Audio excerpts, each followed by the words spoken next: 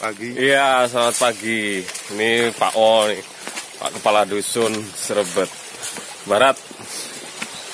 Yang di Kasinan ini masuk wilayah Serebet Barat ya Pak O ya? Iya, wilayah Serebet Barat. Tapi masih masih uh, wilayah perhutani. Oh, apa itu Kasinan Pak O? Bisa dijelasin Pak O kepada pemirsa jelajah kampung Pak O? Hmm, di mana ya Kasinan itu ya? Kasinan itu uh, merupakan tempat sumber mata air bagi warga seluruh desa Pesanggerahan, baik itu berupa air untuk konsumsi ataupun untuk pengairan persawahan yang ada di seluruh desa Pesanggerahan. Hmm, irigasi dan air minum ya Pak ya, O ya? Irigasi dan air minum. Santol. Terus terus ini kita ngapain ini jauh? Kok pagi-pagi sudah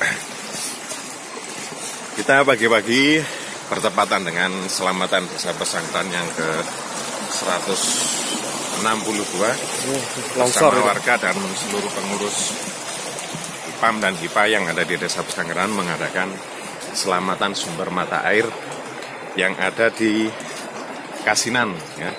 Dengan harapan dengan adanya selamatan sumber ini semoga sumber mata air kita tetap lancar tetap lestari dan membawa manfaat bagi seluruh warga desa Pesanggeran. Amin. Min. Amin. Kayak sih lelah nih. Semalam habis selamatan tumpeng di balai desa. sedikit, apa ya? ini. Belum sadar mungkin ya. Oke. Kita ikuti ya di atas ya. Di Kasinan. Jelajah kampung. Spesial edisi kampungnya sendiri. Selamatan Desa Pesanggerahan. Bagi sumber pampun di Pak. mencari tirta mandiri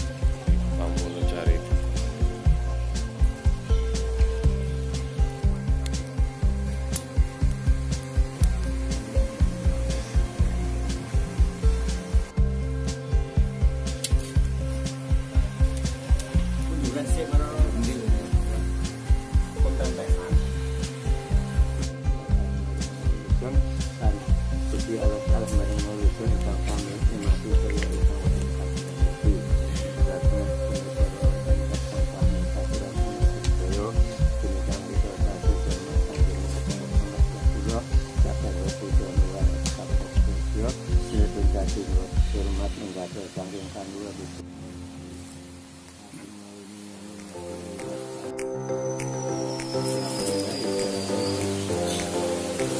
أعوذ بالله من الشيطان الرجيم. بسم الله الرحمن الرحيم.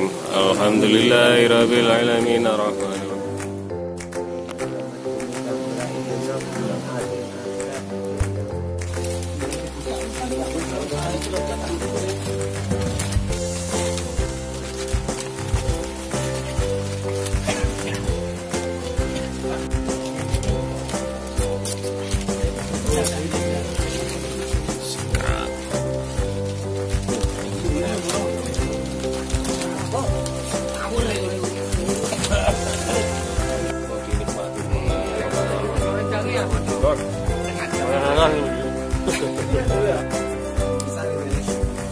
Setahun bisa nih.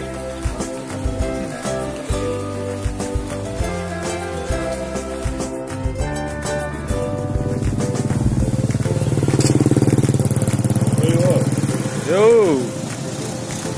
Oke.